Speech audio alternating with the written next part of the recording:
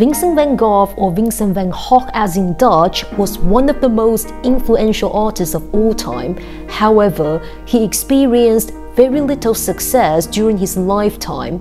In fact, he died believing that he was a failure.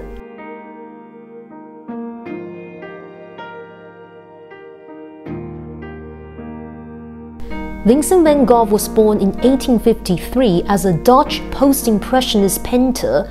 He was the eldest surviving child among the six children of his father, who was a Protestant minister. Van Gogh had a difficult childhood and he often felt isolated and misunderstood.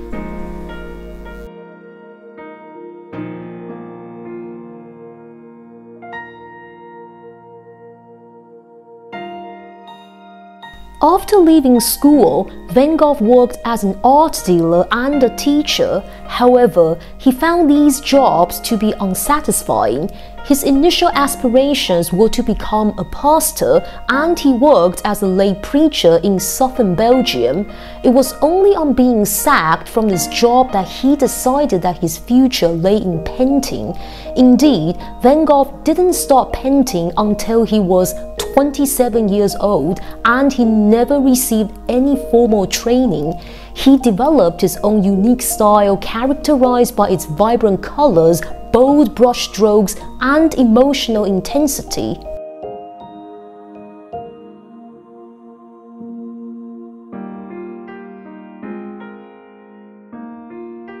Van Gogh worked as a missionary in the mining region in Belgium.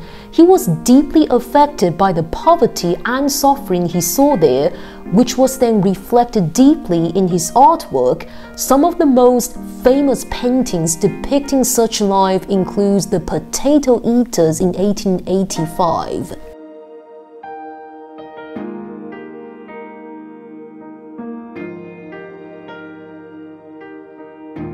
Van Gogh was inspired by all sorts of things, from Dutch genre painting to the realist paintings of Millet and his friends, but he was especially into Japanese woodblock print. He even made copies of some of them by Hiroshige and others, even though he had his own very expressive unique style.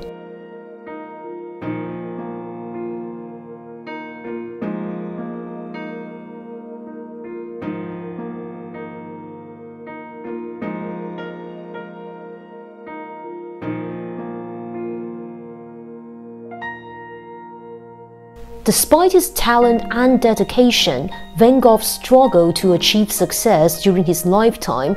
It is believed that he sold only one painting during his lifetime, the Red Vineyard, created in 1888, which was purchased by his friend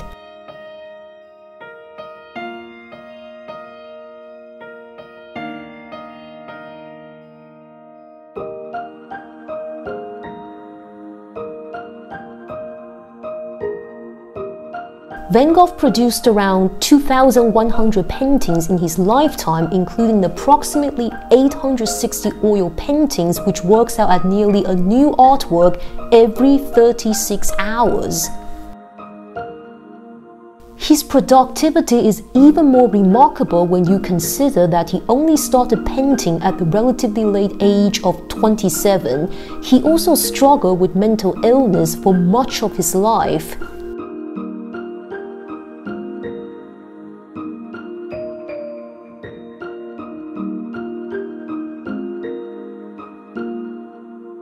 Vincent van Gogh had several close relationships with other artists, including fellow painter Paul Gauguin. Van Gogh, Gauguin, and Émile Bernard planned to form a close-knit artist community in the south of France where they intended to live and paint together. In fact, many experts believe that Vincent van Gogh cut off his ear following a furious row with Paul Gauguin at the Yellow House in Arles. Afterwards, Van Gogh allegedly packaged up his removed ear and gave it to a prostitute in a nearby brothel.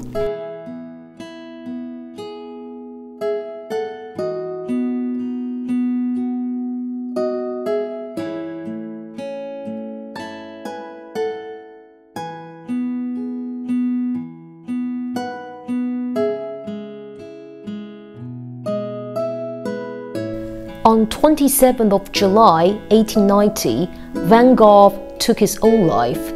He was 37 years old when he was dead, and his death was followed by years of poverty and mental illness. It is widely believed that he shot himself with a revolver, dying from his injuries two days later, and his last words to his brother Theo were, The sadness will last forever.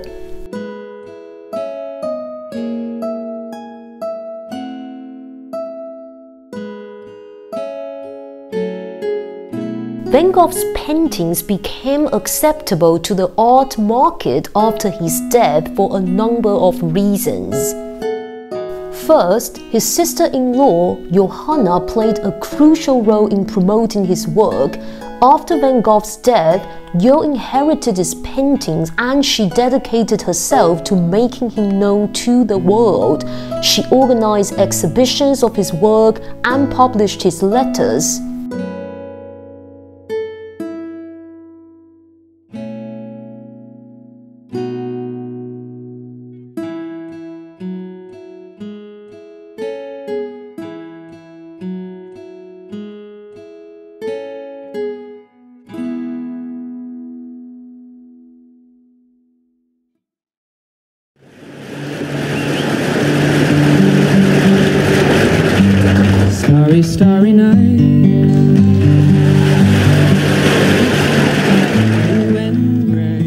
Not only have Vincent van Gogh's artworks come to define post Impressionism and provided endless inspiration for artists, but his tragic life story has also captured the hearts of musicians, writers, and filmmakers too.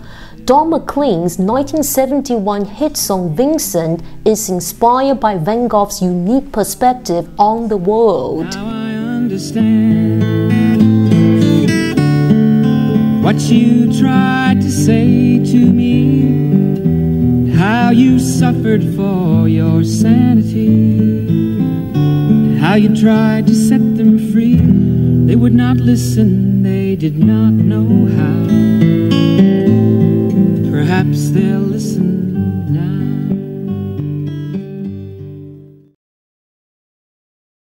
Now I understand tried to say to me, how you suffered for your sanity, how you tried to set them free. They would not listen, they did not know how. Perhaps they'll.